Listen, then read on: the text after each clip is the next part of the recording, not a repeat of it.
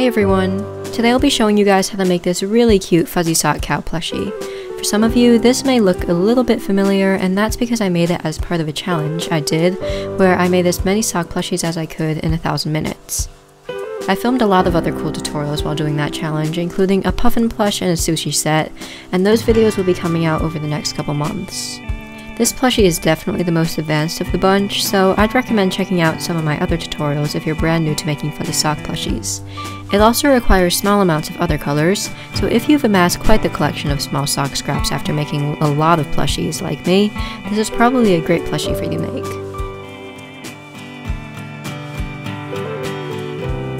You'll need one full white sock, and depending how you budgeted your sock fabric, you may need a tiny bit more for one of the ears.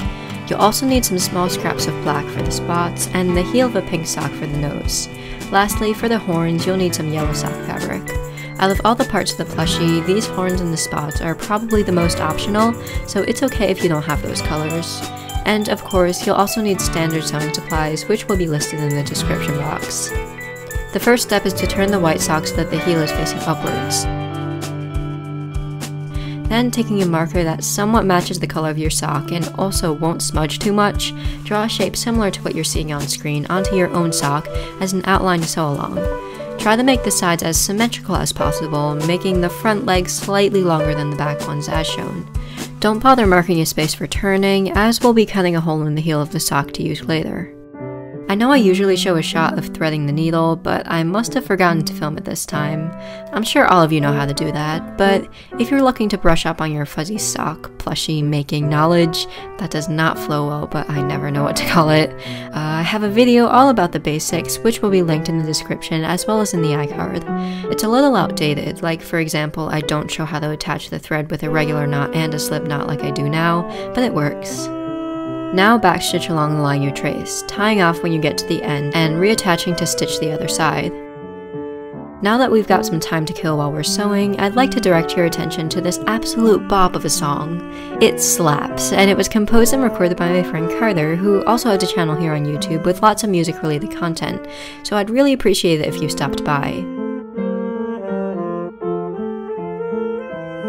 Next, you can cut out your piece with fabric shears, and make sure to save all your scraps, because it's going to be a little tight fitting the pieces on this one.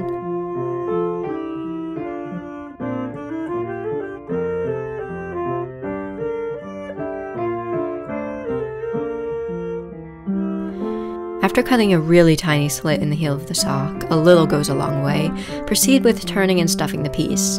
Be careful to poke out the limbs fully, and then stuff them with toy stuffing using small wisps one at a time.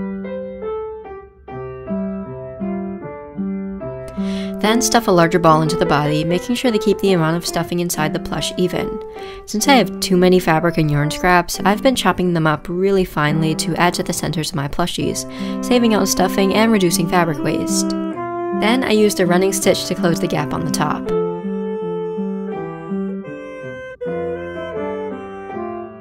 Be sure to make some reinforcement stitches once you pull the hole closed, then, without tying off your thread, bring it to the front of the plush to stitch it into a sitting position. I like to use a ladder stitch to make a clean join, however, it doesn't really matter too much because the fluffiness of the socks hides most of the thread texture. Starting with the hind and front legs, hold the plushie in position with one hand as you stitch. I then brought the thread to the other side and did the same thing, making sure to check its balance against the table periodically. Then lastly, I stitched the two front legs together. This specific design takes a lot of practice to do consistently, so don't feel bad if you don't get it on the first try. And you can also use the thread to smooth out the chest. Here's the toe of the sock that we cut off before. Make sure to flip it inside out before stitching, because I've made that mistake several times before in my videos. Then backstitch the sides of the bottom edge, leaving a space in the middle for turning and stuffing this time.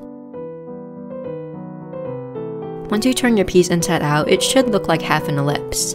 Then you can stuff it just like we did for the body, making sure to get the stuffing into the corners.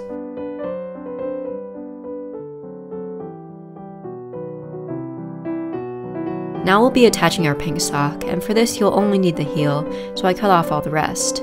I put the heel on the bottom of the head and pinned it in a couple places so that it would stay while I evened up the top edge. Try your best to shape it into a straight line, though it doesn't have to be perfect.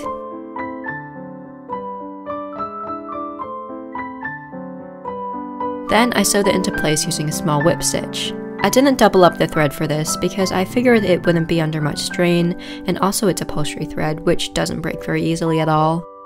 After I finished with that, I created two dimples where I wanted the eyes by making small stitches and pulling the thread taut. When doing this, it's important to tie off the thread super securely. On this plushie, I thankfully had the place where the head and body were going to join to make my knot so that it wouldn't show.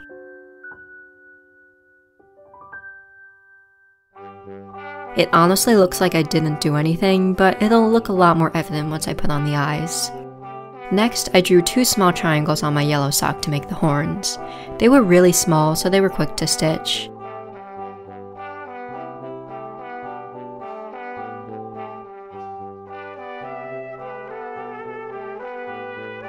Turning them is a bit finicky because it's hard to tuck the raw edges into a piece so small, but after you do that you can secure it all in place with a couple of stitches. Then sew both of them onto the head. If these were a little too challenging to make, you could also needle felt them out of yellow wool to sew on. The ears are really similar, just with a larger triangle shape. This is the part where you may have to use more sock fabric, but I was able to make mine fit on the last scrap of my original sock. Though these are slightly larger than the horns, they still don't need stuffing and are sewn onto the sides of the head the same way. Before we attach the head and the body, we'll sew on a couple black spots cut out of our black sock fabric. It makes it easier if you cut any cylindrical pieces into flat sheets. I chose to put two spots on my plushie, which I held in place with a pin. I also placed the head on the body to make sure it looked okay. Then I whip stitched them on just like we did with the nose.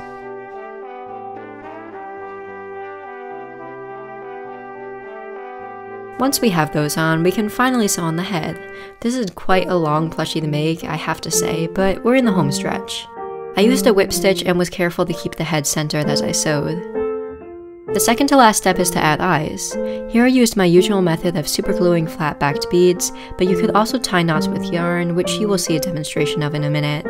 Sewing on regular beads would also work, and if you're into polymer clay, you could probably make your own bead. Needle felting a small black ball to sew on would also be pretty cool. So as you can see, it's pretty easy to substitute materials. And also, now you can see the dimples in the eyes pretty clearly. And the very last thing we have to do, which is totally optional, is to stitch on nostrils. Here I have some black light worsted weight yarn, which I'll be threading through a large yarn needle. Since we don't want the end of the thread to show, don't tie too many knots in the end, though preferably more than one, because one ended up popping through the fabric. Find an open part of the loosely woven fabric to insert the needle into, coming out through the nose, and tug gently. The goal is to allow the knot to slip into the plush through the fabric, but to catch on the stuffing, keeping the yarn hidden and relatively secure. Now tie a knot close to the fabric to form each of the nostrils as shown. I didn't film it, but to tie off the yarn, I tie the knot next to a hole in the fabric, like we did before, and inserted the needle into the hole to hide the end, letting the knot pop to the inside of the plush. I know this step is kind of complicated and difficult, but trust me, it's super rewarding. And with that, our plushie is finished. It's a long one and it's pretty challenging, but I have to say, it's probably one of my favorites that I've ever made.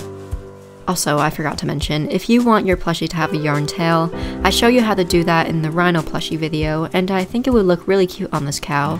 Be warned though, it's pretty finicky, so therefore it takes a bit of time, and that's mainly why I don't put tails on my plushies too often anymore. Anyway, I really hope you enjoyed it, and it would be pretty cool if you subscribed for more fuzzy sock plushies, sewing, and crochet videos. Thanks so much for watching, and I'll see you next time!